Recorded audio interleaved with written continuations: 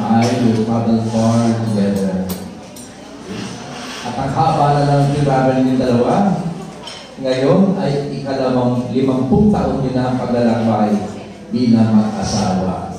At ay sani, may asin pa ba? Nanay Buena, kaya pa ba? kaya pa. Alam niyo sa lahat ng mga may asawa na, nagbabalak mag-asawa, ang habilin, paalaala, na asawa at kabiyak ay regalo ng Diyos. Handog ng Diyos sa inyong minamahal. Kaya kung ganito, ang asawa ko ay hindi by accident. No? Hindi ko naman by accident. No?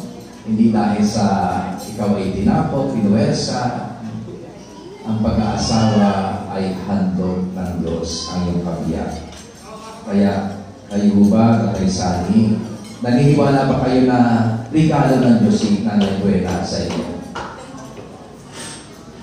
Asa na ating mikropono para may question and answer tayo. Kaya Tatay Sani, si Nanay Buena ba ay regalo ng Diyos sa inyo? Ayan. Kayo naman Nanay Buena. Sani ba? Oh, bilis ng sagot ha. Opo, Father. At siya ang pinakamagandang regalo ng Diyos sa iyo.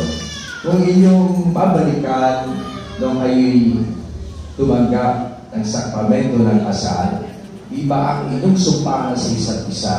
Ano yun?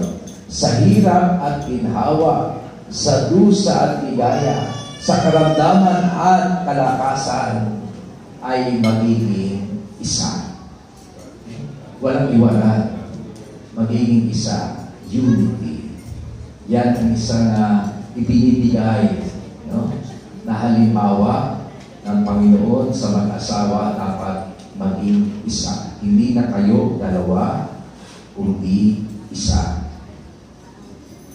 Naalala ko tuloy yung kwento. Kwento ko ito pagka ganyan mga golden, ano sunod, 60th, then 70th, sa kay ate, ang parents ko nakaabot hanggang 70 wedding anniversary. Uh, uh, that was 2016.